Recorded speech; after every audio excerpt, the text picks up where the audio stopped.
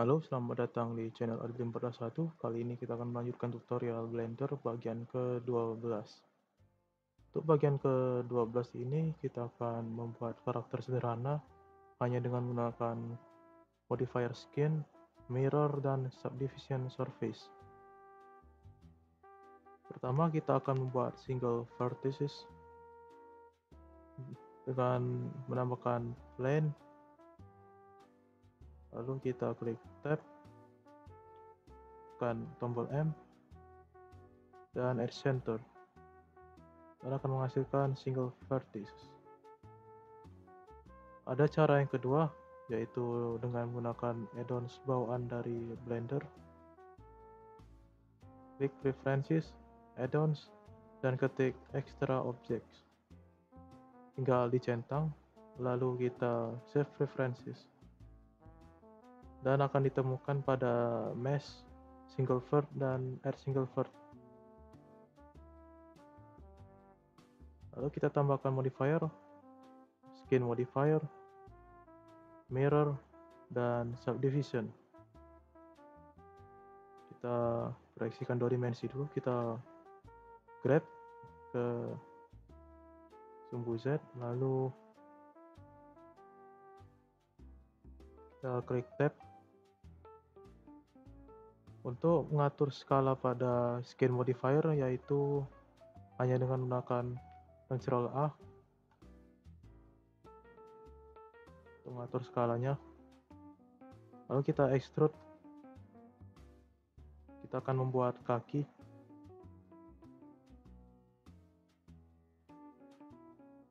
Sederhana saja, kalian bisa melakukannya bebas apa pun, tidak harus seperti ini ini hanya sebagai contoh sederhana. Kita tekan Ctrl E dan untuk mark root yaitu untuk membuat titik utama pada objeknya. Kita misalnya mark root ke sini maka akan perbedaan di bagian area sini. Mempengaruhi pada modifier mirrornya kita mark, mark di tengah saja. Kita extrude kembali. Lalu aktifkan proportional editing supaya kita dapat membuatnya jauh lebih profesional. Ini berfungsi untuk mengatur vertisnya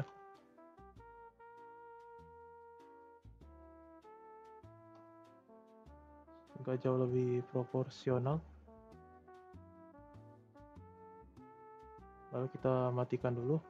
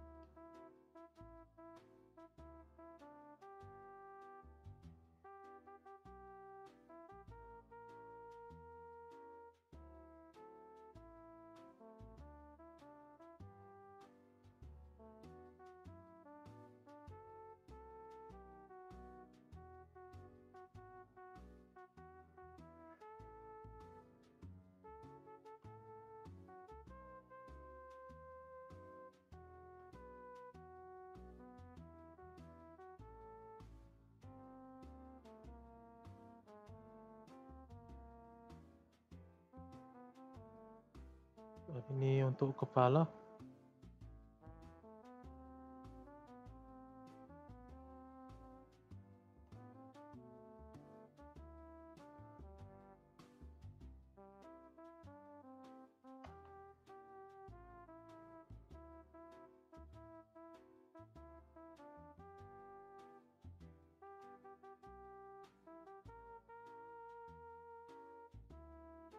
Kita akan membuat jari.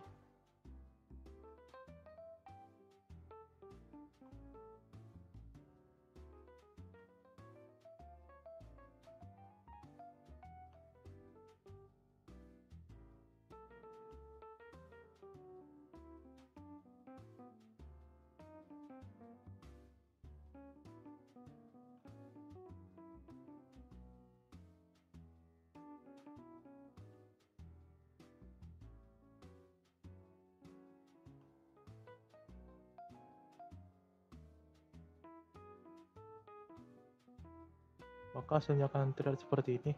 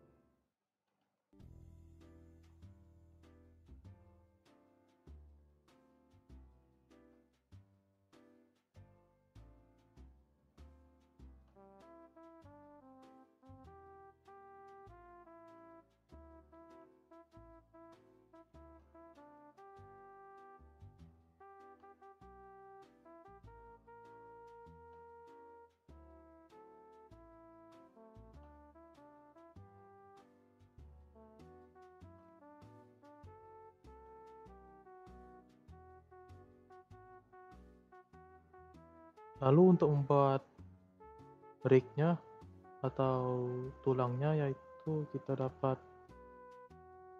build armature ke pose mode.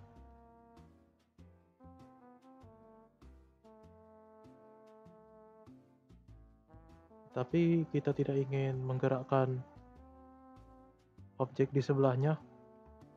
Kita Ctrl Z kita apply modifier mirror.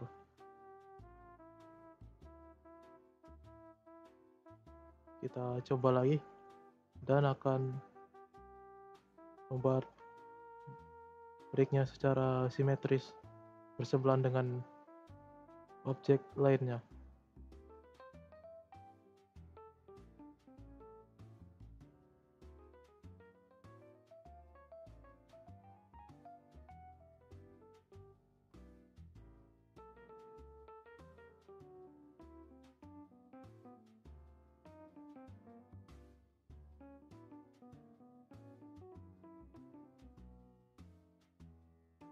Itu saja cara untuk membuat karakter sederhana hanya menggunakan modifier skin.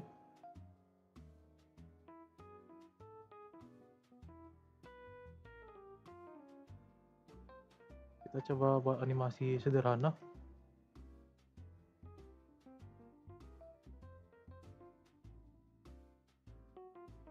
kita buka keyframe di bawah lalu lalu untuk membuat animasi sederhana kita ke pose mode. Mohon maaf sebelumnya file karakter tadi mengalami error. Beberapa beberapa kesalahan teknis. Jadi saya membuat karakter baru lagi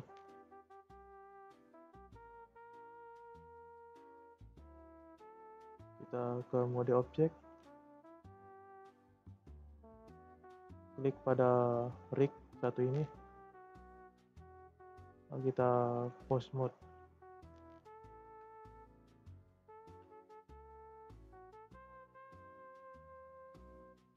Dan jika kita rotate akan seperti ini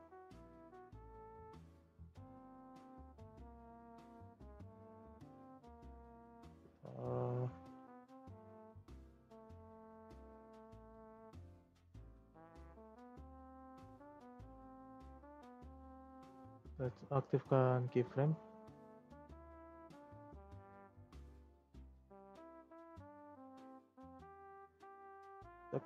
Tekan tombol I untuk insert keyframe. Atau bisa juga klik kanan pada mouse insert keyframe juga. Dan kita pindahkan timelinenya ke frame ke-20 kita rotate dan untuk mengaktifkan auto keying auto keyframe kita tinggal klik tombol ini. Maka akan langsung diaplikasikan otomatis.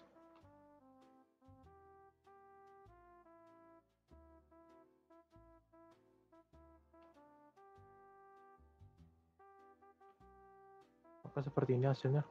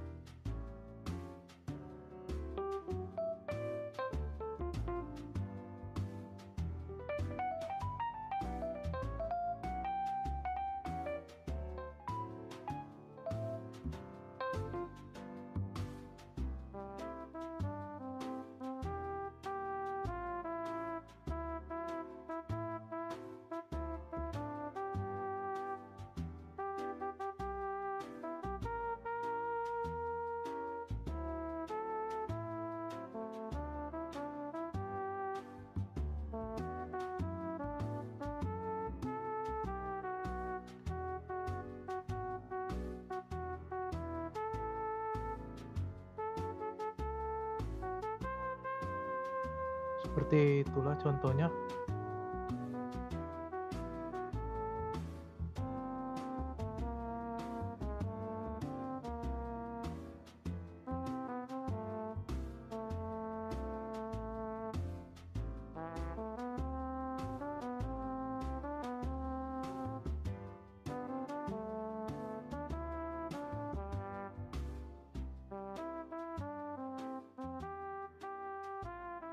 Cukup sekian untuk tutorial kali ini.